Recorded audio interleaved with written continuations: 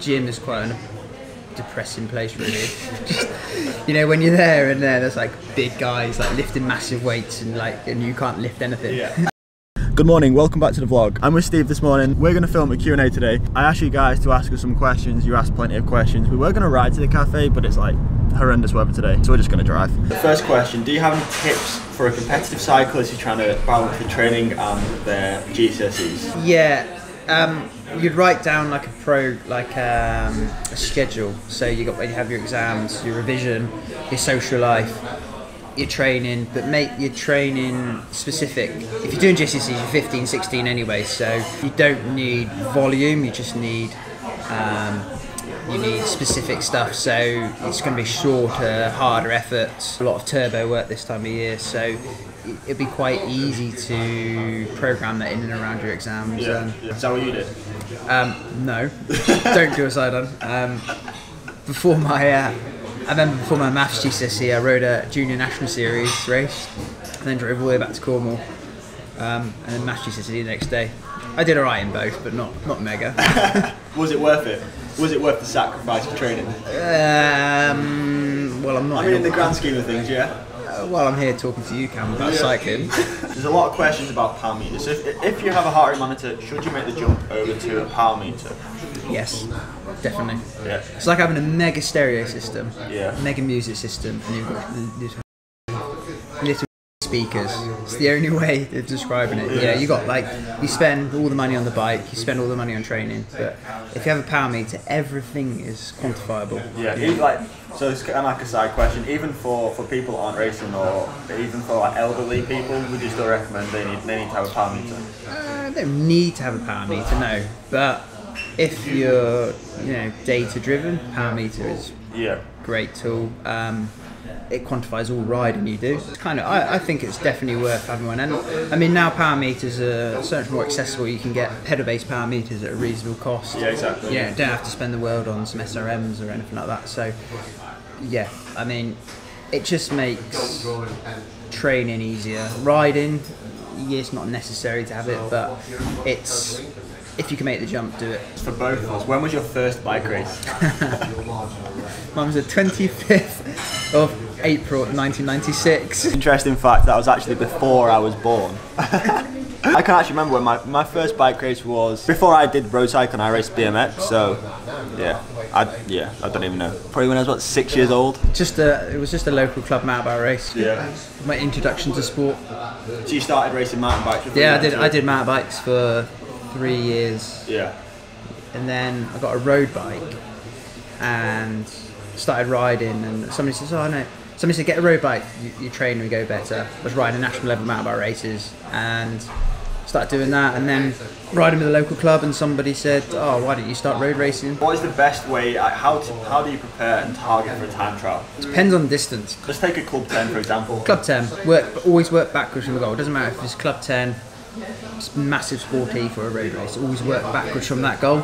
So it's unlikely you're going to go to a time trial without an, any kind of aim. So whether you want to break a certain time or you know beat your mate or something, you're always going to have a, an ambition in that race. So work backwards. So day before, don't do too much. Day before that, a little bit of a rest. Build up steadily for the race. You can best way for time trials. You know, a lot of threshold work, over threshold work. Um, it's all obviously all power meter based. Um, I'd ride. I do a lot of when I rode the national ten. I had short preparation for it, but I, I did a lot of um, sort of five, ten minute efforts at sort of 10, 10 watts, 20 watts over my threshold, Yeah, yeah. and just getting used to making that repeatability, so I could get to the time trial and just go flat out for Yeah.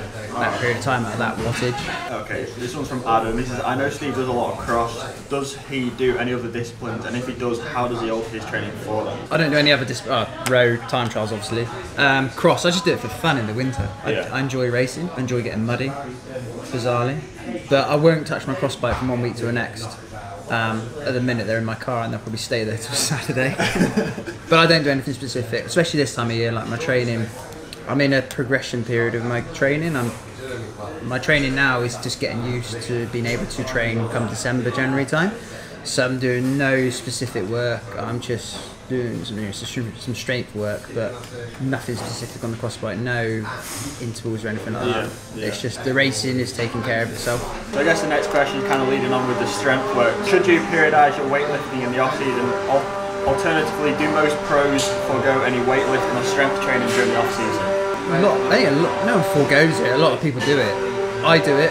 Um, working on my legs, lower back, any imbalances, um, do my core. I find it easier to go if I'm at the gym and I can do some strength training, gym strength training. Then I can do my core after. It's um, because I can't do my core at home. I just start looking at my phone and just laying on the floor and watching TV. But um, I think like I know a well-known British professional rider, sprinter. Um, he does a lot of gym work all season long, and it'd be quite interesting to see if gym work really progresses onto cycling. Whether you're a sprinter, climber, rouleur, um, I think it would help, but I've yet to try it. Yeah. And uh, so, so at this time of year, how many times a week would you be going to the gym? Twice a week. There's no no need to go to more than because to get cracks. It's quite a, the gym is quite a depressing place really. Just, you know when you're there and there, there's like big guys like lifting massive weights and like and you can't lift anything. Yeah. so Cycling Central asks, at what age would you recommend to start following a structured training program? as soon as you can, really. It, like uh, I started cycling, at, well, I started racing when I was 12 years old, and I followed a structured plan from then because you do. You know, I was at school till 3:30, playing with my mates football after. You know, it was football training in the week, so you only had limited time to follow training anyway. So, but in terms of time, it was structured. In terms of what I'd done, it wasn't, but we didn't have the knowledge then. So um, as soon as you can, really. As soon as you feel you want to progress in the sport, follow it properly. I mean, there's a lot to be said for just going out riding the bike, but there's a lot to be said for sticking to a specific plan, training properly. Um, you know, doing the correct things on a turbo trainer or rollers or out on the road, and especially this time of year, you know, if you're going to sit on a turbo trainer in the evening for an hour, you just as well follow a, a plan um, as just as opposed to just pedaling away. Lauren Wolf asks, other than sweet spot efforts, what sort of training should you be doing at this time of the year? It's November, not a lot. 15, 16 hours maximum. Like, you don't want to be, like, there's some guys do 30 hours, that's mad. Um, doing FTP efforts and stuff. You, you, it's a, we're five months away from races, so this time of year, I would be, I personally am doing um, what we call STE efforts, so long, so they're like 60 RPM building muscle for five minute efforts. Um, all zone free, 20 minute zone free efforts. Um, no, nothing harder than zone free because your body, when you start doing top end work, anything over threshold, your body adapts very, very quickly to it. So if you start doing that now, you, you, it's six weeks and you're going to be absolutely flying. Six weeks' time is first week in January. You know, you're, we're not racing for another two months after that, so there's no point. And that window, and then once you get that form, the window to hold that form is quite small anyway. Yeah. So, what is the point of being flying in January? Yeah. So whilst we're on the subject of FTP, uh, when another question is when, when and how often should you test your FTP? Um, difficult one. I don't test it because I'll crack myself. You know, when I'm only doing Because they're so hard. Yeah, it's horrible effort to do. Um, I'll probably have um, a test in a few weeks' time just to see where I'm at, which is quite regular for me. And then I'll do one in like March, April time just to see where I'm at. But other than that, no. But then I, in come the season, I'm racing a lot of time trials, club tens and stuff, so you can see of where your gauge threshold is anyway. Yeah. But when you're on a time trial bike, your thresholds, the number is lower because you're aero and you're in your racing Yeah. kit and, and all that jazz. So, but it, you, the number's still relevant to to you and what you can do. How important or what are your views on structuring your training in cycles or periods of three to four weeks hard, followed by an easier recovery week? Yeah, um, I would extend the weeks. I'd do like four or five weeks. Yeah. But is that just because like you and you're obviously you've been riding for a long time? If there's a younger rider, would you still say they need to sort of do, do four or five weeks? I think if you're not, if you, I think if you're an under 16, then maybe four weeks. For three weeks hard, one week easy. But as soon as you get beyond that, and you've built a bit more of a base. You could do five weeks, and then an easy, easier week. And an easy week's only like five days, just day off or an hour pedaling. No, no, no stress. Yeah. Um, I, I go, on, I work on five week um, cycles with an easy week every six week, and then just go on that cycle all year round. Okay. Is it still possible to be competitive training with heart rate? I think I think what I'm trying to say is like, is it still you know, can you still be a competitive cyclist and train properly with a heart rate monitor rather than a power meter? Yes, but no, not. You're not going to get the best out of yourself. Heart rate fluctuates daily. Yeah. Um, you know, temperature affects heart rate, fatigue, obviously massive factor on heart rate. Um, you know, whether you if you've had three coffees in the day, your heart rate can be elevated. Yeah. It's it's too much of a vague ballpark to be playing in. Um, power meter makes everything quantifiable, and also if you're if you can do a zone 2 ride at 180 200 watts and you're struggling to do that then obviously you know you're fatigued or Yeah. if you're doing say you had your zone 4 threshold efforts of 350 watts then and you can't hold that number then you know you're fatigued whereas a heart rate it doesn't show that instantaneously Brandon asked, does Steve follow and administer a traditional periodization program? Yes and no. I do, as in I work. So when the can, racing calendar comes out, I work. I have my A aims, my B aims, C aims, and I work backwards from them, like with rest periods. But the last sort of three seasons, I've done reverse periodization. So November, I'll start my, my, my training, my riding, just getting fit enough to train. December, I'll start training with various efforts and intervals. Um, one reason is because the weather's so rubbish in the UK, why do you need to be spending more than three hours outside on your bike? Um, and the other one is I'm 33, so it's not. I, I'm not going to lose a race because I can't ride 180k. I'm going to lose a race because I can't ride fast for that particular minute. And I think now training has changed so much that that's less of the on vogue thing to do. But at the same time, you need a, good, big base to be able to start doing that sort of training. Yeah. You know, I've, I've had years of training, you know, long distance miles, etc., etc. So if you look, you know, a lot of people can follow me on Strava, and on there, my average week's 16 hours a week because I'm not doing massive hours this time of year, or, or even until I get to Calpe in January. Then I'll start doing some five, maybe a couple of six-hour rides a, a week, but there's no need to. I do ask, which bike are we going to be riding? Can we say that? Yeah, what, what bike we're going to be riding? a. We're, we're going to be on mint bikes next year. Colnago C60s, Campag, group sets, mint equipment. So we just had to pause this Q&A for 20 minutes. The camera overheated. Good job, Sony. How much of an improvement would someone else, would someone see by following a structured training program compared to someone just riding steady miles? Will there be a significant jump in your FTP, or will it just improve their aerobic capacity? It's a massive increase in your uh, ability, performance. But it's not all about FTP. Like a lot of riders get het up in this whole what, what oh, my FTP is X, X, Y, or Z, but it's everything else. It's your one minute, your five minute. You know how fast you can go.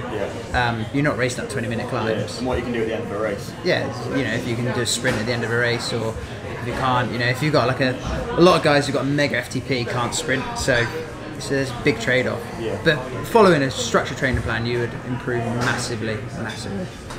So I don't mean to rush in there, just I've got some booking coming on this table in the next five minutes. If they're obviously here now, just having some drinks while they're waiting. Okay, okay, cool, yeah. worries. yeah. What type of training was Steve doing before he became pro compared to the current times? I've been, yeah. So when I was an amateur, I was racing in Spain. So I was full time then anyway, so I didn't really have to structure my training around a job, apart from winter times I used to have to work. Then I got my first power meter in 2008. So essentially from then, 2008, 2009, 2010, 2011, I was I was juggling cycling, training, and work. So made everything quantifiable. I could train specifically to numbers for short periods of time. There's no junk miles. Um, yeah, I think I think now it's just become more. Training has become more specific instead of hours and miles. I've been cycling seriously for two years now, and my FTP is still in the low 200s. How long should I wait before I start racing? As soon as you get into a race, enter it. Because racing will push you on more so than training because you're going to go harder because your ego won't allow you to be beaten by riders. Um, no matter what you say, who you say you are, um, you and it- it's a gauge. You don't know how good you are until you actually race. So just get racing, do it. How much does natural ability or genetics matter in making it to the pro tour level? And can someone with poor genetics still train hard and make it as a professional? I know riders who are so talented, it's untrue, but their work ethic is abysmal because it's easy come, easy go. So if you're, if you maybe you're the most talented guy in the world and you've got a mega work work ethic, then you're going to make it. Peter Sagan, for instance. Um, but there's a lot of guys who get by through just training hard, training specifically, grit. You know, they've got every rider's got some talent. You shouldn't be doing it, but if you've got passion, if you've got drive, determination, you're going to go a lot further than guys with just talent and can't really be asked to train. Oh, it's raining outside, can't bother today. You know, you're going to get further than that. So Jason asks, I've just bought a power meter. Uh, I'm going to be doing crits next season. What sort of intervals are best suited for this type of racing? An hour at zone three with a sprint every two minutes. Think that's probably the best thing. It's just like replicating, going out corners, riding hard. Um, you can mix up like little five minute efforts, three minute efforts, three by one efforts times five. There's so much you can do, but a good hour with just lots of kicks, sprint, big sprints. Because there's no such thing as bad training. There's just bad application of training. So if you haven't got a coach, it's very easy to look at your training and think, well, I'm going to do, I'm going to do four uh, 20 minute efforts and you can't do the third one so you beat yourself up and then you still try and do the fourth one and you get yourself all in a stress about it and you've got no one to talk to. It's you know then you next day you try and do the same session again because you beat yourself up. That's where a coach comes in and says right actually look you've done three good ones. You can now rest recover you know you can do this tomorrow you do something else tomorrow and then we can revisit that next week or next month. It's just the ability to change things up, you know, instantly, um, and just to tell you how to do things in the correct way, rather than yourself, your inner chimp saying, "Oh, I haven't done this right, I haven't done that right." Obviously now, like you personally, started to focus more on the coaching side, so coaching bigger riders. Like, what, what is your end goal? What do you want to get out of this? What is your end goal? There's no end goal. I like to see riders. I like to help riders who are determined. I like to. It's kind of putting something back into the sport. Like I had people helping me throughout my career, so it's kind of doing that. I like to see progression in riders as well. So I like to see them improve, get their goals, get their aims and ambitions, um, and achieve that. So that's kind of what I like. I like to see that. I like sharing my experiences, saying, you know, do as I say, not as I've done. So, um, you know, I know what works in, in with training, with training, and I like to see, you know, the end goal of what, you know, what somebody can achieve doing the right thing.